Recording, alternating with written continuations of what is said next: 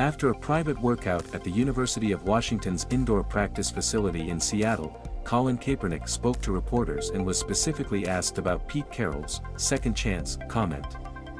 He said he's still waiting for that chance. Still hopeful, he said, per The Athletic. There's been a lot of conversation around it. We've had conversations with Pete and John previously. As Pete mentioned, we've spoken recently and still hoping that door is open and get a chance to walk through it. The Seahawks coach addressed Kaepernick, who hasn't played in the NFL since 2016, on March 16 when talking to reporters and believes he should be given another shot in the NFL. Does that guy deserve a second shot? I think he does, he said.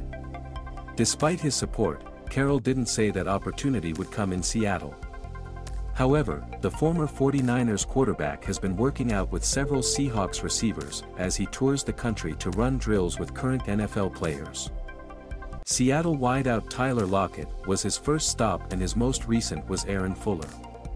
Besides them, he's worked out with Saints wide receiver Jalen McCleskey, Bears quarterback Justin Fields, free agent quarterback Josh Dobbs and Giants signal caller Tyrod Taylor. The Seahawks are still in need of a quarterback after trading Russell Wilson to the Broncos. Their depth chart is just Drew Lock and Jacob Eason as of right now. It's been five years since Kaepernick, 34, became a free agent and was never signed again. But he hasn't lost hope. More NFL coverage. For more Seattle Seahawks coverage, go to All Seahawks.